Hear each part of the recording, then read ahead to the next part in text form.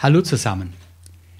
Nachdem ich bereits Registrierungen für das Genos und für das PSR S970 gemacht hatte, zu dem Notenbuch 100 Hits in C-Dur Band 2, habe ich diese Registrierungen jetzt auch für das SX900 fertig. Ich habe mir aus dem Notenbuch 100 Hits in C-Dur Band 2 die nach meiner Meinung nach 50 schönsten Titel ausgesucht, registriert und zu jedem Lied vier Soundeinstellungen noch hinterlegt.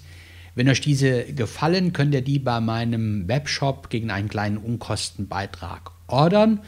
Hier einige Klangbeispiele. Ich wünsche euch viel Vergnügen beim Zuhören.